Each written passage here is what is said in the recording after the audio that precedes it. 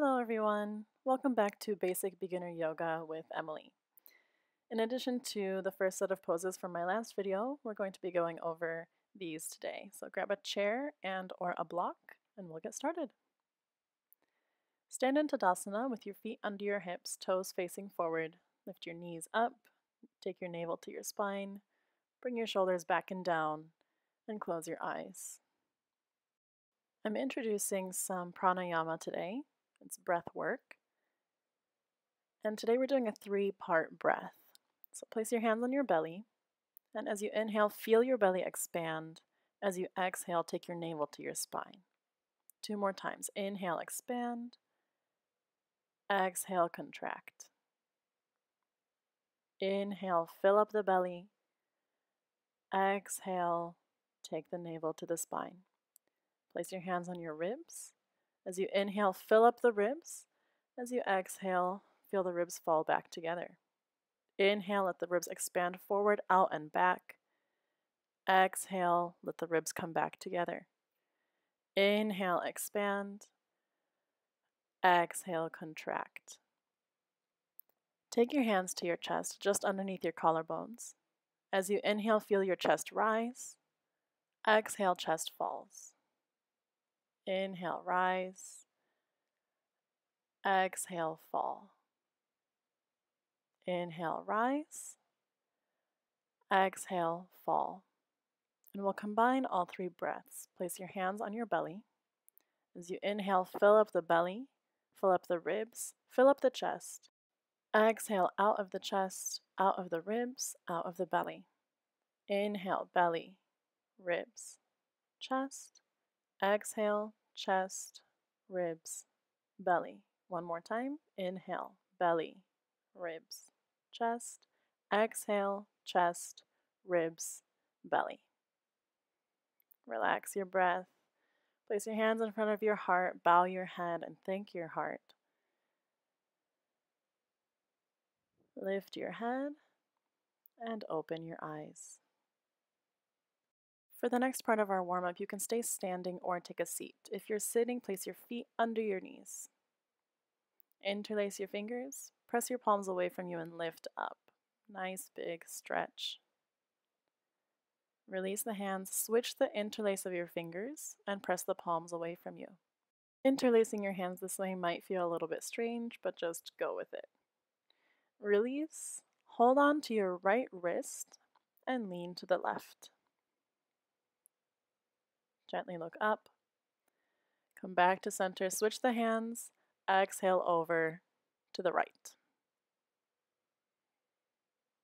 Inhale back to center. Take the hands out to a cactus position and bring your right elbow under your left for eagle arms. Now, if this is not comfortable for you, there's an option here to give yourself a hug instead. One arm is still going above the other, whether you're in the first option or the second, lift the elbows up and drop your shoulders down your back. Take big breaths to expand the space between your shoulder blades. Gently release and we'll go to the other side. Left elbow under your right. Again, you have the option to give yourself a hug instead. Wherever you are, lift the elbows up, drop the shoulders down. This is one of my favorite stretches because my upper back tends to get really tight.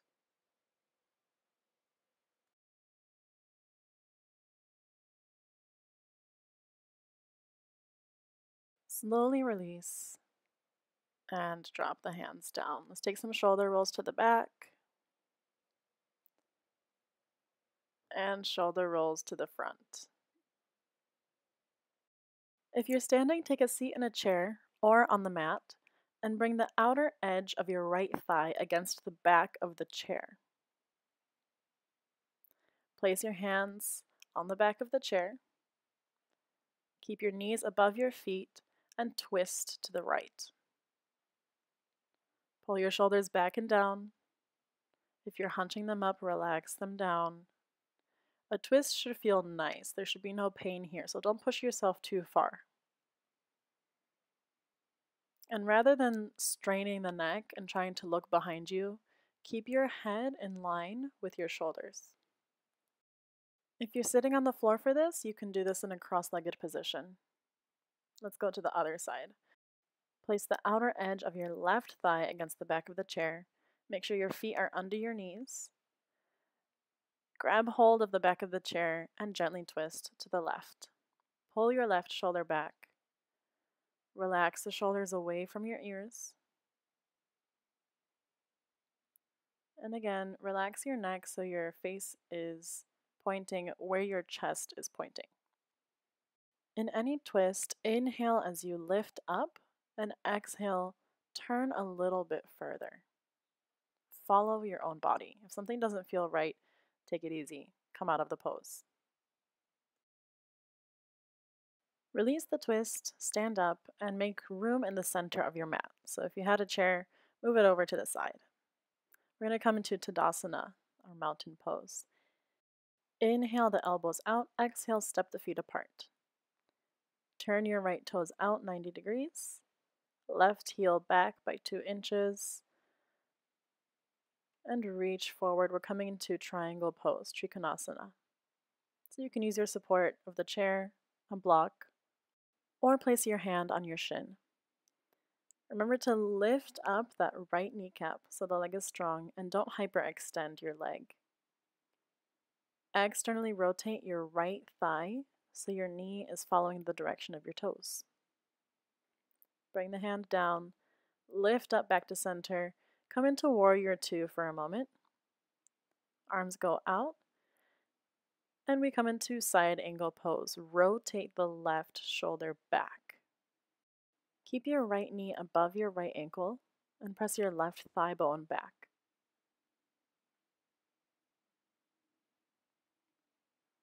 If your neck is strained from looking up, you can always look down. Bring the hands to the hips, straighten the leg, let's come out of the pose. Turn the toes forward. Here's a new one for you. It's called Prasarita Padottanasana, or wide-legged forward fold, a little bit easier. Roll the shoulders back and down. Inhale, extend your spine. Keep your legs strong, and exhale, fold forward. We're hinging from the hips here, so your spine stays long. This pose looks different on a lot of people. You can have your support in front of you, so you can place your hands on a chair or two blocks, or keep your hands on your hips. Now your torso may be at 90 degrees, it may be above or below. Wherever you are, keep your shoulders back, keep your chest open. If you are close enough to the floor to reach, feel free to bring your fingertips, maybe even hands, all the way down. And keep your head in line with the rest of your spine. So we're not looking up we're not tucking the chin to the chest. Everything's in one line. If your hands were down, take the hands back to the hips. Keep your spine long and your legs strong as you lift yourself back up. Let's go to the other side with our lateral poses. Turn your left toes out 90 degrees. Right heel goes back by two inches. Reach forward and come into your triangle pose on the other side. Keep that micro bend in your left knee and externally rotate the left leg so your knee is pointing the same direction as your toes. Keep your shoulders away from your ears and breathe. Pull your right shoulder back. Place your hand on your hip, strong legs, strong core, come back to center. Bend the left knee, bring your arms out. Warrior two, straight into side angle pose. And rotate your ribs, so you're pulling your right ribs toward the ceiling. And pay attention to your neck again. If you're not comfortable looking up, you can look forward or down at your toes. Ground the outer edge of your right foot down. Let's come out of the pose gently, slowly. Turn your toes in, heels out, and come back into your wide-legged forward fold. Keep your legs strong, keep your spine long. And if you'd like a variation here, something I really enjoy is interlacing my fingers behind my back. If that's not comfortable, you can hook your thumbs, and this gives you a nice shoulder stretch.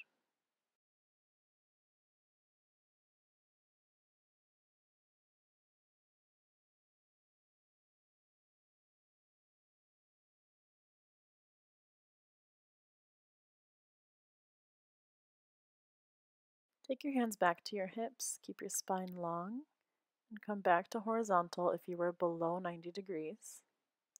Keep your shoulders back as you lift up all the way to standing. Let's heel toe the feet back to center. And we're going to go for some sagittal poses now. So a chair is really helpful here. For these next three poses, keep your feet on your railroad tracks. First pose is warrior one. Step your left foot back. The toes are out by about 20 degrees. Bend your right knee so it's directly above your ankle. Belly to the spine, shoulders back and down. Lift the arms up and breathe. If your shoulders are fatiguing, feel free to take your hands in front of your heart. Keep pulling your left hip forward, right hip back, so the hips are squaring up towards your chair or your prop.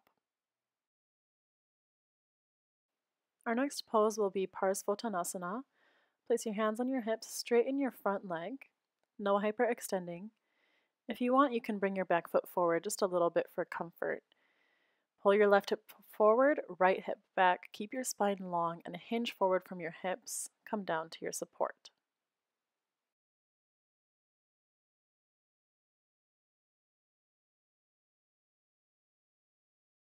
Breathe into the back of your legs and think about keeping your hips in the same spot. We're going into our last pose on the right side here, revolved triangle. Place your left hand down on your prop, right hand goes on the hip, and open up to the right side. So we're coming into a twist here, Parivrtta Trikonasana. This is a very intense stretch. Focus on your breath, take it slow. If it feels like it's too much, go ahead and come out of the pose. Let's bring both hands down, square up the shoulders, keep your legs strong, keep your spine long, and lift yourself back up. Step your left foot forward, and we'll go to the other side. Right foot back, come into warrior one. Left knee is bent above your ankle. Right toes are out by about 20 degrees. Keep grounding your right heel down into the mat. Navel to the spine, shoulders back and down. Bring the arms up. Or take the hands to the heart. I prefer this variation sometimes when my shoulders are sore. Take two more deep breaths here.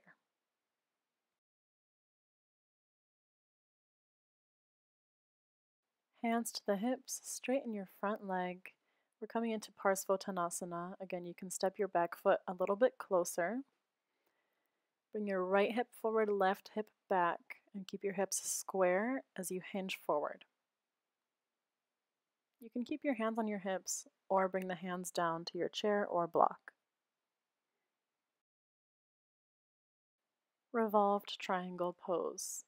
Bring your right hand to your prop, left hand to your hip, you can see here that I'm checking with my hand if my hips are level, if my hips are square to the front of the mat. When you're ready, you can bring your left arm up and your gaze goes towards your fingertips if that's okay for your neck. Keep pulling your left shoulder back and breathe.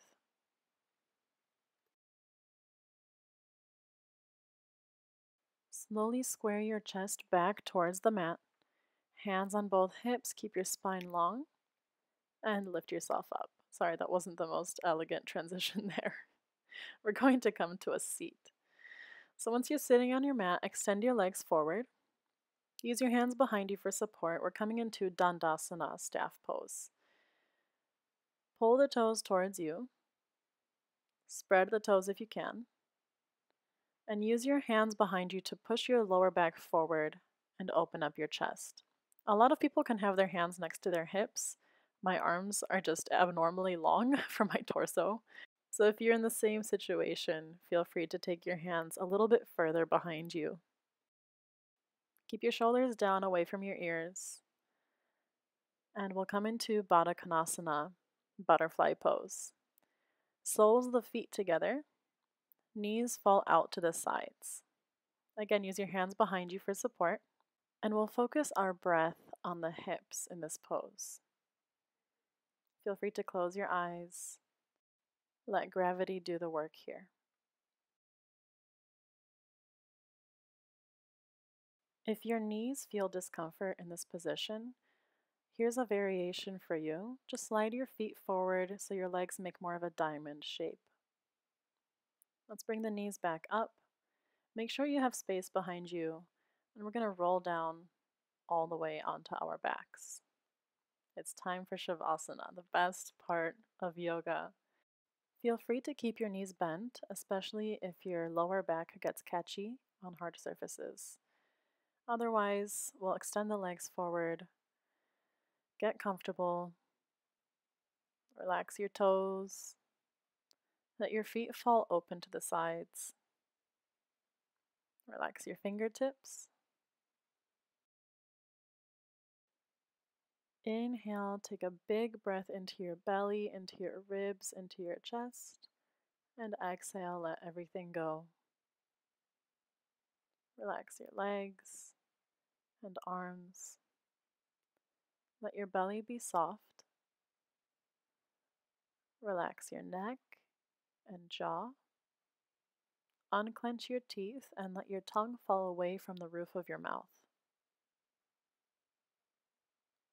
Relax your lips and cheeks,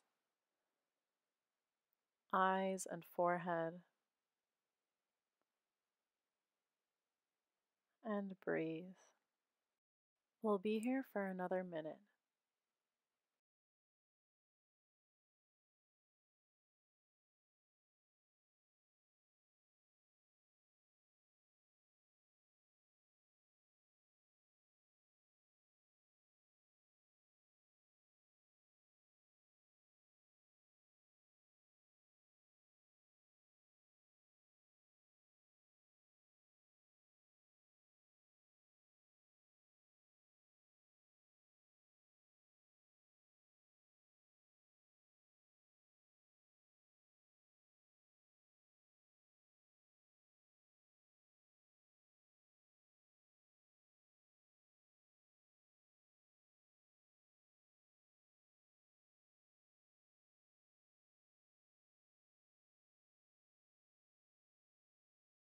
Come back to the breath.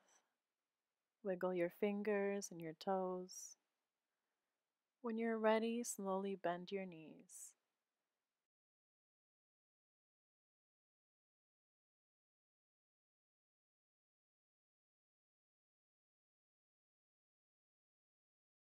Roll over to your right side and stay in a fetal position for a few breaths. Take your time here, there's no rush.